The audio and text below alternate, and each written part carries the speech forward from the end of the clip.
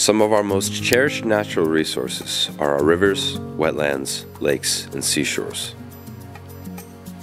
We use these water resources for daily consumption, recreation, and commercial fishing, and they provide important habitat for thousands of species of fish, birds, and mammals. More and more, however, we're confronted with troubling signs of collapse within the ecosystems of our waterways.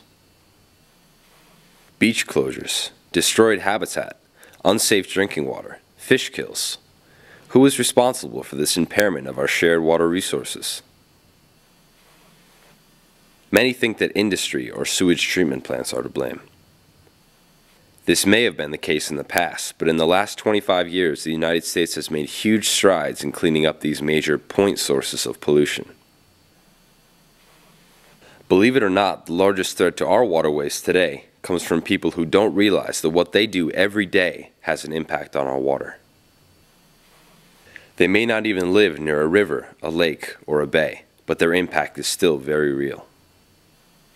This impact comes from polluted runoff, or non-point source pollution, which occurs when rainfall picks up pollutants from the land and deposits them in our rivers, lakes, and coastal waters. To understand how these pollutants make their way into our water bodies, you have to look at nature's watershed systems. A watershed is defined as an area in which all drainage flows to a common outlet. We all live in a watershed, and they come in all different shapes and sizes.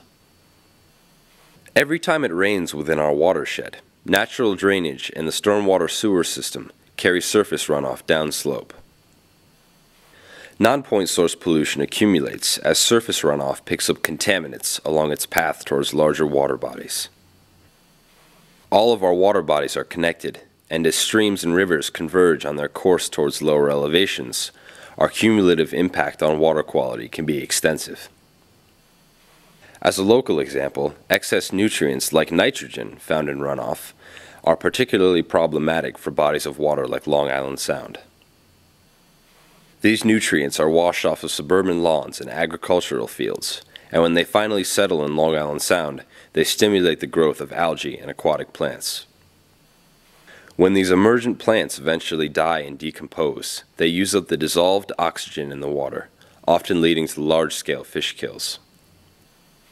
Nutrients aren't the only problem. Runoff conveys many other harmful pollutants to our water bodies. Oils, salts, and heavy metals are washed off of roadways, while pathogens and bacteria enter surface water through improper disposal of animal wastes and faulty domestic sewage systems. When water can soak into the ground, most of these harmful pollutants are filtered out.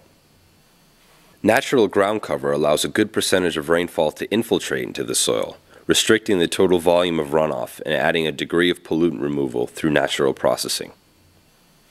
But every time another large building goes up or another asphalt covered parking lot is built, we're adding to the amount of impervious or impenetrable surfaces within our watershed. And the more impervious surfaces, the less soft ground where rainwater can be absorbed, increasing surface runoff and decreasing natural infiltration.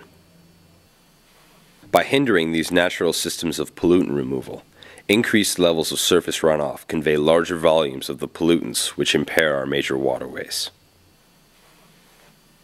Today, non-point source pollution remains the nation's largest source of water quality problems.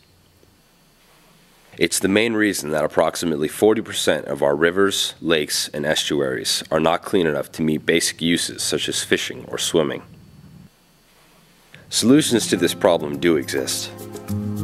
The Jordan Cove Urban Watershed Project aimed to investigate how well low-impact suburban development techniques were able to reduce the export of non-point source pollutants.